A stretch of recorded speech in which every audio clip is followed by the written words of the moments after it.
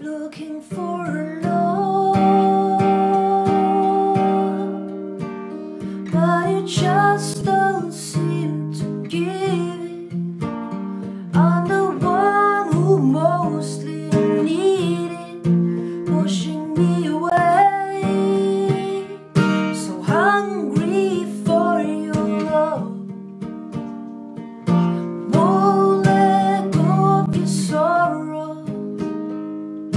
Boy.